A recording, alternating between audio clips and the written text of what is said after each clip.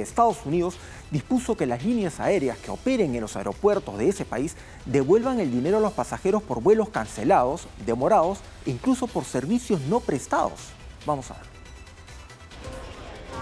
Un alivio para los viajeros es lo que representa la nueva norma del Departamento de Transporte que ordena el reembolso a pasajeros por molestias causadas por las aerolíneas en retrasos de vuelos y gastos irregulares.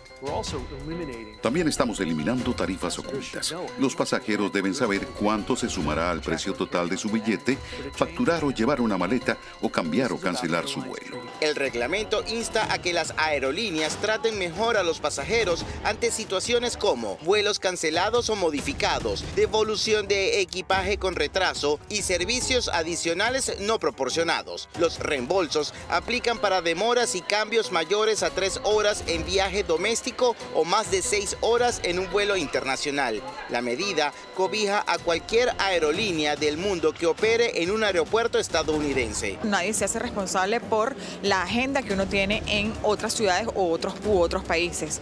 Eh, igualmente con el retraso de, la devolución de las maletas. La norma establece que las aerolíneas se hagan responsables por valijas facturadas y que no se entregan en las 12 horas posteriores. La orden federal también determina que los reembolsos sean otorgados de manera automática, sin que los pasajeros tengan que solicitarlos pasando horas y horas al teléfono esperando a ser atendidos. José Fernalete, Voz de América, Miami. Bueno, una noticia que esperaba mucha gente en Estados Unidos es uno de los países, o sea, tú sabes que a nivel mundial, uno de cada tres vuelos que llegan o salen van hacia Estados Unidos.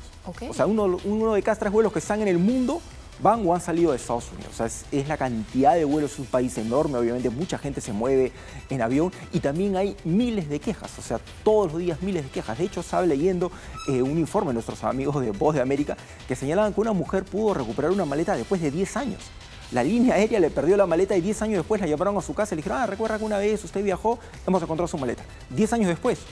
Entonces, todas estas quejas de vuelos demorados, de vuelos que se cancelan, de equipaje que se pierde, van a pasar ahora y ya las líneas aéreas están obligadas, según mandato, a devolver ese dinero. Ojo que esto es solamente para los vuelos que llegan o salen de Estados Unidos. O sea, no, no es que aquí en nuestro país esto se va a aplicar, ¿no?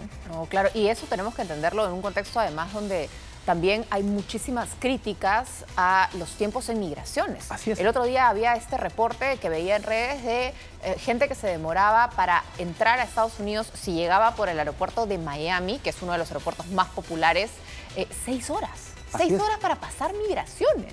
y si tú tienes una conexión, te pelaste, porque cuando uno llega a Estados Unidos, el primer punto de entrada, tienes que sacar maleta, y eh, registrarte, nada de que no es escala, a nadie le importa. Es todo el proceso y obviamente eso también, eh, sin embargo, eso se vincula propiamente a los, a los vuelos que se retrasan. Como bien señalaban muchos usuarios, bueno, ¿y qué pasa si el vuelo se retrasa y yo tengo una conexión? Claro. O sea, yo tengo, una, yo tengo que llegar a tal lugar a las 4 de la tarde, me dicen que mi vuelo va a llevar recién a las 5 pero yo ya tengo que a las 4 de la tarde estar en otra ciudad tomando otro avión. O sea, ¿quién eh, contempla eso? es para vuelos domésticos. Así es, para los vuelos domésticos y también los internacionales, obviamente. O sea, si es que esas demoras perjudican eso, si es que tu vuelo se cancela. Es que a veces se cancela de la nada. Ahora que estuve en Estados Unidos, que me fui por trabajo a hacer esta nota que, me fui, el vuelo lo cancelaron de la nada. No te dijeron por qué, no te dan explicación. Tú ibas y decías, bueno, me han cancelado el vuelo, es de noche, van a salir mañana. Eh, ticket de comida, eh, no, no hay. Eh, ticket de alojamiento, ¿dónde me quedo? No, ya está lleno los hoteles.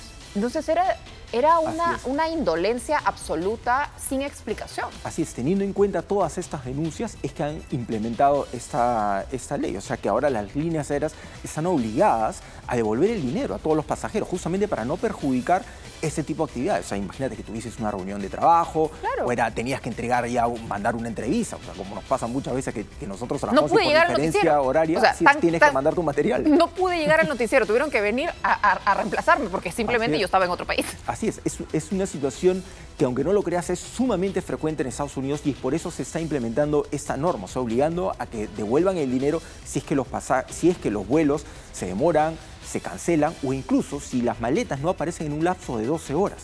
¿Por qué? Porque también puede darse el caso que tú estás llegando a un lugar para quedarte una cantidad de horas en un hotel, lo que fuera, o hacer algún trabajo y no tienes tu equipaje.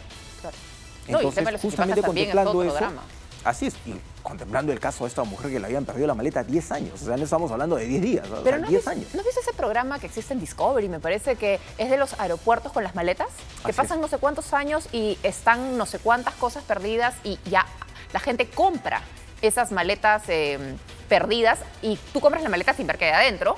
Y hay gente que se encuentra tesoros dentro de esas maletas. Imagínate, o sea, puede ser que tengas el caso, o sea, pueden ser objetos materiales, o sea, las bodas de tu luna, de, las fotos de tu luna de miel, etcétera, pero puede darse el caso de alguna persona que está llevando algún recuerdo sumamente importante, tu computadora que la has guardado ahí, un disco duro. Cosas que compraste. Con temas vitales para tu trabajo, una tesis, lo que fuera, una investigación que estás desarrollando y te dicen, bueno, se ha perdido la maleta, ¿no? Claro. Pero y tú estás hablando, pero tengo años de trabajo guardados ahí.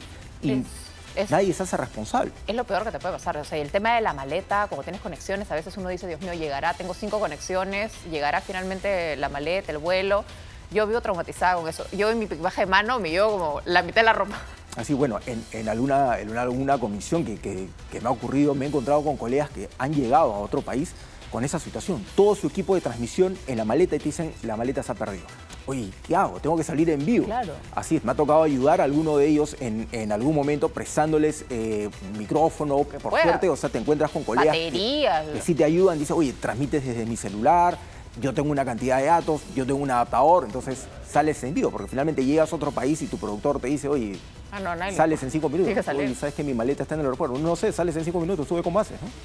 No, es, una situación terrible porque además en Estados Unidos es muy común el tema de viajes de trabajo. Así es. La gente no necesariamente a veces eh, trabaja viajando mucho, hay mucha movilidad y es altamente necesario tomar un avión y la gente calcula tipo, como además los vuelos domésticos eh, no hay migraciones ni nada, es como que es muy rápido, prácticamente uno sale por la, por la puerta y ahí nomás está el carro o toma el taxi o el bus y es ok, llego a las 7, tengo la reunión a las 9, pero si esos vuelos se demoran, de pronto se rompe toda esa cadena laboral. Así es, hay que tener en cuenta que es un país enorme, es muy grande, mucho territorio y es muy común, como tú bien señalas, estos vuelos de trabajo de un lugar a otro para poder realizar y tienes que ir a una ciudad y luego regresar o luego empalmar con otra. Es una situación bastante compleja. Vamos a ver cuál es la respuesta de las líneas aéreas. Probablemente estén este, preparando alguna, pues eso puede entrar tal vez en algún tipo de polémica.